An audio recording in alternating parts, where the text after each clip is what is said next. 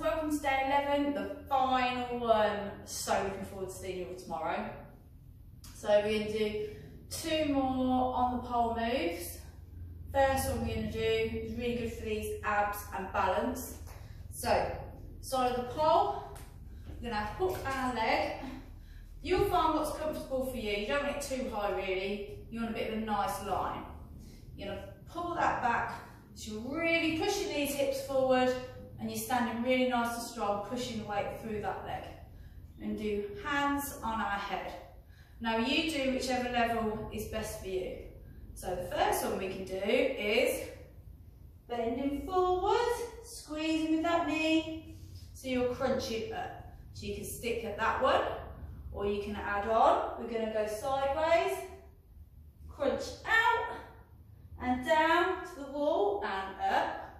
We're going to add another one on. And go sideways, crunch, and up. Add another one on, looking towards the pole, crunching towards the pole, careful not to smack your head, and up. So you've got those four. You can either do all of them in a row, or just pick which one. Depends what level is best for you. 45 seconds on, 45 seconds off, times three. I'll quickly do them again for you. Nice and strong, really squeezing. First one, down, nice and slow. Squeezing with that stomach and the butt and your leg. Second one, with your head facing towards the wall as much as you can. You're going to feel it here. You're going to bend down, look into the floor and up. Bring the body back up to the side. We're going to crunch to the side and squeeze and back up. And the last one, look at the pole and squeeze and crunch and back up. Both sides, remember. So it'll be a total of six.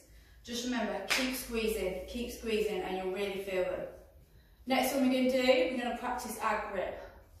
So, top hand high, bottom hand low. Start on your tippy toes.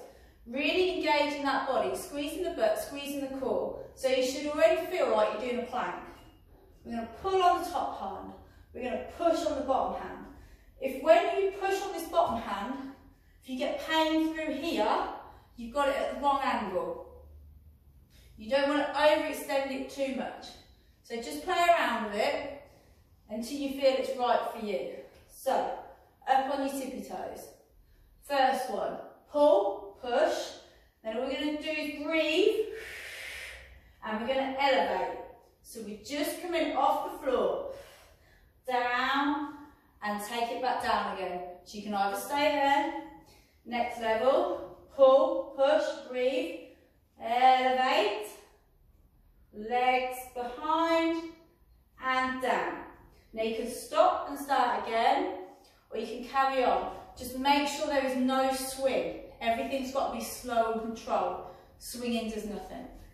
Next level, hands high, pulling, pushing, squeezing like that plank. Elevate, legs back, legs forward and down. If you can, if you're strong enough, carry on through. Just make sure as soon as you lose that contraction, you stop and start again. The slower you do them, the harder they are, the better they're going to work. And remember, right, then left.